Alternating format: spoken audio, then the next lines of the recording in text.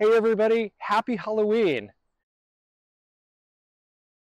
So I am ready for the trick-or-treaters tonight. Uh, we have a bucket full of chocolate waiting for any kids who come and knock on our door uh, later today.